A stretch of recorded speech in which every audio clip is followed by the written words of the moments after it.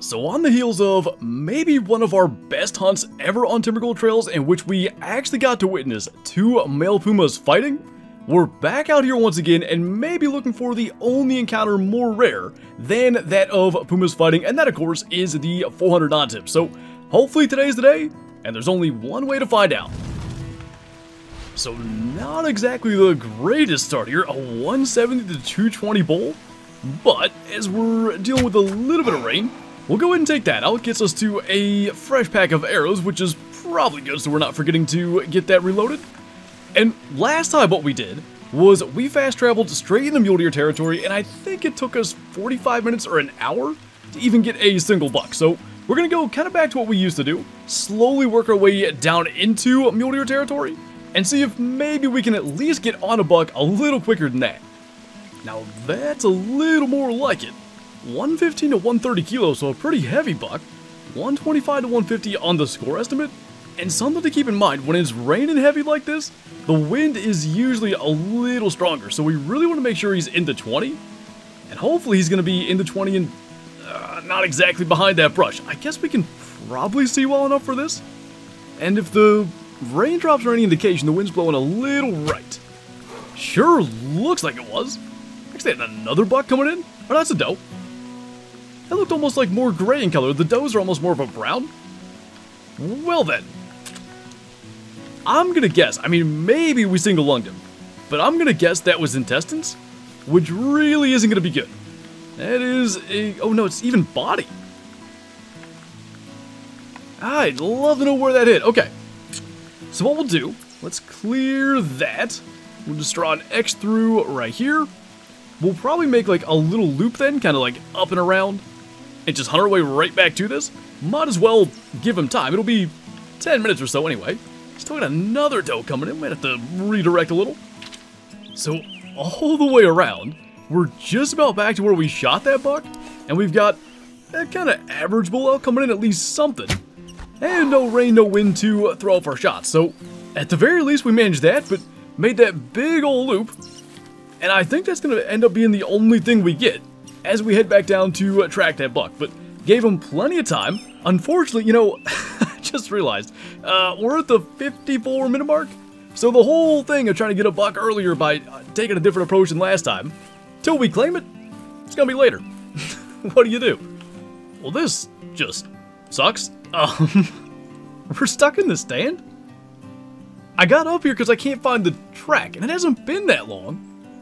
But I guess, you know, so many animals on typical trails. The game can only show so many tracks. The tracks have disappeared, but I can't... Can we fast travel? Will that save us? I'm not entirely sure that it will. Well, there's another bull elk. Um, I think we're good, but I guess now officially, no buck for us. Now, first order of business might just be getting a mule deer buck. It's about the size of the one we lost, funny enough. Got a decent bull coming in there, but I think, because everything's going to spook anyway, we might as well just go ahead and try to get this guy, and at least we can be on the board. Now, how did that not? That felt like a decent shot. We are just not having the luck today with our shots. He shouldn't go terribly far anyway, but just, you know, one extra thing, we get to track him a little bit. So after all of that, we finally have a buck down. I noticed too, this guy's the exact same weight estimate as the, the one that we lost ended up being 123.8 kilo, 146 score, and finally after an hour, we have at least killed a mule deer buck, and we've been all over the place, usually directions we wouldn't go, and what I guess I want to do now is at least get down to like this Y in the river, and probably because we just shot, we'll start to move in this direction. Man, like, what the heck's going on? There's a Maxway mule deer track. I don't think he was with that one. I feel like we'd have seen that. But no doubt he's spooked either from the shot or from us coming over here to track him. So, you know, nothing else is going to plan. Why not completely change the direction we're trying to go in? Maybe it'll lead to something good. Uh, I think this is going to be the end of our luck right here. These wolves decided to come right to us. They're not fleeing right at the buck, but pretty well that direction. Oh, I just heard him spook. Or I heard something spook. Now there's another buck coming in. What the heck, man? Like, I don't know, could he be with the one? Maybe. And go figure, even as there are other bucks coming in, we still have to contend with something else in our way. We have a Deer Doe right here at 20. Really would like to get that shot before she gets against the tree. At least that worked. The other bucks are kind of down this direction, and I I think probably the one we were tracking's gone, but we'll only sit here and see what comes in. I mean, that's not a bad buck there. 160 to 185? I don't know if he's by himself or not. Definitely, like, not the same buck. The, the weight estimate's way too low. Suppose we'll go ahead and try to get him. That angle's just a little weird. It's just completely dead on. And didn't help that we got a shot to the side. That's just part and parcel for uh, today's hunt. But let's get the doe. Let's go track that guy down. And then we gotta figure out what happened to the original buck. I don't know if we'll ever make it where we were supposed to be going, but if we're into bucks, I'm not gonna complain about that part. Gotta think that was a lung at least this time if we get the correct track. It wasn't even a lung shot? I don't even, I, I honestly don't even understand that. Was that the buck there? Sure was, and there's a better one behind him. Wonder if that's our guy. Uh, could very well be. Because the weight matched? Can we somehow... I hate when they do this. Ah, oh, just missed the follow-up. I think we got him the first time, though. What a mess, man. I just, like... Oh, I don't know. Maybe we got him. Like... and then there's bucks everywhere. Okay. See if we can get that guy to come in. I do think, based on the reaction, we probably did hit this one. And it was, by the way, the same deer we were tracking, the max weight estimate buck. So it's not anything super insane, and now we're not as far behind in terms of that stuff. That would appear to be blood, so we already saw body shot will certainly kill one. And now we have another buck to bring in. And one more wrench to throw in the plans here. There's a wolf that just came walking in here and standing here. Those bucks can't be that far away. And I'll tell you, I struggle to drop wolves. Not this time. Okay. Tide turning, maybe a little bit. This is like, uh.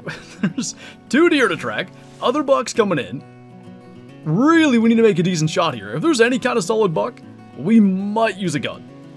So there are at least two bucks coming in. There's that one back there, this guy here, and it's raining again. And we're not making that same mistake twice. We're going to let him come in closer. He's not big enough that I'm concerned he might spook. So he's going to get in inside of 20.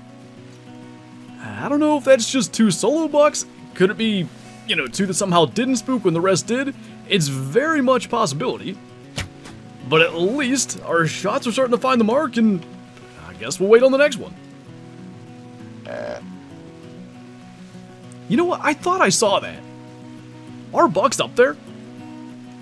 Just as we went to draw back, I, I thought I saw the knock. Um, I guess we'll see what comes in. If nothing's good, we're gonna shoot him. And just go figure. Lost sight of him up there?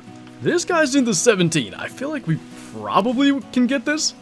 And then honestly, if that other box standing there, maybe, that was a little odd, but that works. Maybe the move is just really slowly move up here, claim these couple, maybe see if we can just get eyes on him again, and then just take our time and go claim him when he beds down. It can't be too far from that, but since he's spooked, uh, when we shot the max estimate buck with the gun, it probably would extend things a little bit. Also, that wolf is laying right there, so let's get that taken care of.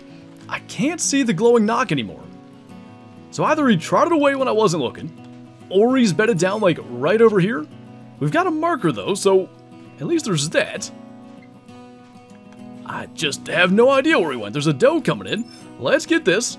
This guy is gonna be 123.464. That was almost a 123.456, but uh I say we wait till the doe gets right here close and then we just go up there and track. So he actually did. He bedded down right where I had last seen him. Slowly but surely, we're starting to claw this hunt back from being an absolute disaster. So 166 buck, there's no way, like earlier in the hunt, this bigger box tracks will be gone just yet, and it shouldn't be that far. And there is the buck we were supposed to be tracking, which really, you know, with short times and deductions, not going to be that special. We hit him in the hind leg, by the way. 181 score, and at least minus that one that we got stuck in the stand for, we are officially caught up. So now at this stage, we're just going to fast travel and we'll give the old tree stand editing a spot a chance here as we have another grunt. And we've got bucks coming in from everywhere. That one's actually kind of decent. 170 to 195. There's at least, oh, there's a buck and a doe there. And there was another grunt further back, but definitely this guy is going to be the one we want to try to get. And I guess since there's that other one that's supposedly coming in from further back, if he stays here, we'll try to get this shot at 30. Just maybe on the off chance that other buck's still coming in, but that ain't a bad deal for a quick fast travel buck. Uh, And sure enough, there is another buck coming in, however. Right here, somewhere, walking just over that way, is a grizzly bear, which kind of has him spooked. So what we're going to do, instead of waiting and having him spook again, going to come halfway to full draw, get out of the stand. Really blends in the shadows there, but we'll get him taken out. Did that bear stay? I never heard it run. It's still back here somewhere, so chance we might get attacked as we grab this, but I do want to actually go ahead and move on, because obviously, things have developed a little bit slowly today. Double lung liver on that guy's going to be a 145, by the way, a 666 CSS, so maybe that explains all the uh, issues we're having. I mean, it's still there. It knows we're here, but it really isn't overly concerned, so our better buck, which we got at 30 meters, he's going to be a 182, so he tops the one by all of one inch. Then hey, sometimes we come here and get a couple of bucks. Sometimes we get something a little bit better. I haven't been able to do any tree stand editing in months. First time we've done it, I look down, and there's a white mule deer standing underneath us. Now, unfortunately, it's a doe, but if she will stand still there, just gonna go ahead and get that shot. Fairly confident albino. I'm not sure what dilute does look like, but yeah, you can see the pink nose, you can see the pink hooves. That would be... Oh, it is a dilute. Hold on. Alright then. What's the difference then? Actually, it's not really a pink nose, it's more like black. In the sun there, or sunrise, it actually looked a little bit more pink. That's really cool, we've never had a dilute. Well, that worked out way better than I thought. We've had a few, not that many, but a few albino does over the years. I thought it was just yet another one of those, so now I wish that we just let it lay there for a while and picked it up when the sun was better, but I mean, not bad lighting here. And I mean, really, I still think that nose looks a little bit pink. I'll probably tax it then, because I'm very confident in the old Let's Go Trophy Hunt series, we killed an albino doe here on Timbergold, and that would be in one of those lodges. We can at least go and compare. It must be a really minor difference. Obviously, the bucks have like, like that dark patch on the forehead. They're much easier to, to notice, but I was fairly convinced that's an albino. That's a first for us. And hey, we got our first dilute ever. Unfortunately, a mule deer doe, but at some stage, I would love to get a mule deer buck dilute for our lodge. But as we move forward here, easily the best buck in the hunt, a 185 to 215, is making his way in. So he's across the river. I don't know where he's going to cross. I don't know why we can't drop stuff today, but whatever. Um, might as well get him down. And we have, as we can't get out of the water here, we have a pretty good distance between here and the next spot I wanted to get to, so shouldn't be a big deal to take him with the 9.3. I mean, even that, I guess, was a body shot. How did we pull that off? Eh, we hit him in the brain? It's a 200 inch muley, so we will take that. Where did the brain shot come in? Because I... I didn't think we shot him in the head at all. And I still don't see him. There's a bullet wound somewhere on his side. I can kind of see it there. Maybe if we spin him around. There. I guess that was the first shot, and it was probably forward and high. I still don't know how we got him in the brain, but hey, 200 inch buck, we will definitely take that. Well, it looks like we spooked a puma, but I just heard that sound there. So he's probably not too far away. What I wanted to do was try to gauge the size of the footprints. They don't look bad. Not that we have a lot of references to the first track we picked up today, but somewhere out here ahead of us should be another male puma. And I think, you know, given the way that the hunt ended last week, we definitely want to at least try to find this guy. And hopefully it's not too big a deal. Oh, there he is. I mean, I'm assuming that's the same one. That kind of looks like a female. That is a female. If it wasn't raining, I would at least feel decent about actually getting a bow shot here. I don't think we ever shot a puma with a bow. And it is kind of slowing up. Let's see if we can do that, because obviously the male is the one that we want to get. And that's like a reasonable shot, about 40 meters. Only something I want to do, though, if the wind really quits. Now, another thing we can do is kind of test the wind and see what we're dealing with. Yeah, that looked pretty strong. I think probably we'll go ahead and take the risk of spooking the, the male. Because if we get the chance to take two, we will. Just in case. Because, man, I surely thought maybe there was, you know, that first sound was closer to where the female was. Though she was very right up against us. And I never did really find many tracks in the male anyway. I'm not so sure we're that close to him. So let's take our female puma.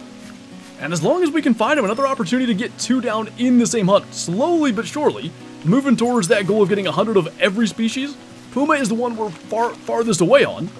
And we're actually making progress these last couple weeks.